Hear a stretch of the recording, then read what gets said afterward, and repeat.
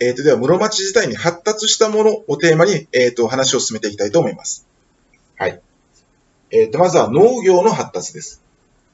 えっ、と、まあ、鎌倉時代から始まってはいたんだけれども、えっ、と、二毛作。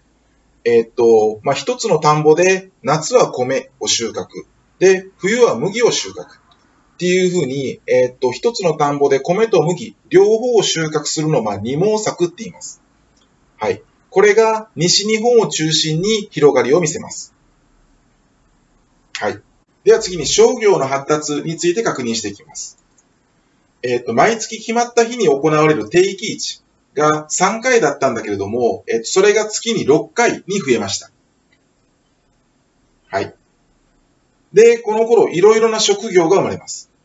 えっ、ー、と、馬借とか車借っていう陸上輸送に関係する職業。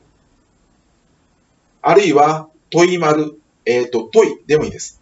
えっ、と、海上輸送に関係する職業。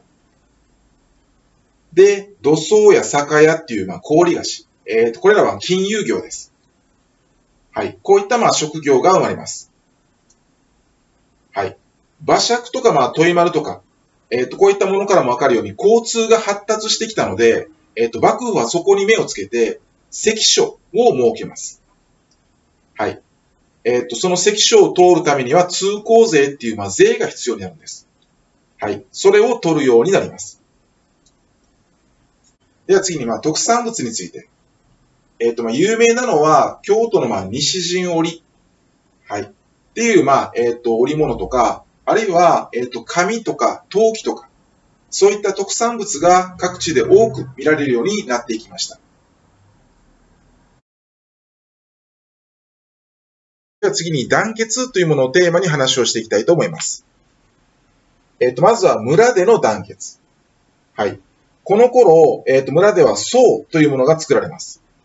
はい。これは今でいう組合みたいな感じです。はい。まあ、後ろに村という漢字をつけて、総村とも言います。はい。で、何か問題があった時には、寄り合いっていう、まあ、場を設けて、そこで話し合いが行われます。はい。次に、えっ、ー、と、様々な一揆について。えっ、ー、と、一揆というのは、えっ、ー、と、同じ目的を持った一つの集団、あるいは同じ目的のために起こした行動のことを言います。はい。で、代表的なのは、えっ、と、象徴の土一揆。はい。えっ、と、これは、えっ、と、まず馬借が借金をチャラにしてほしい。はい。っていう訴えがあって、それをきっかけに起こった一揆です。はい。で、二つ目が、山城の国一揆。えー、っと、まあ、京都の方に山城国というものがあって、そこで起こった一揆です。はい。で、三つ目、加賀の一向一揆。えー、っと、これは一向宗という、まあ、宗教を信じる人が中心になって起こった一揆です。はい。では次に、都市での団結の話をします。はい。この頃都市では、座というものが発達します。はい。座というのは、同業者の集まり、団体のことです。はい。で、京都では、長州と呼ばれる商工業者が力を持つようになっていきます。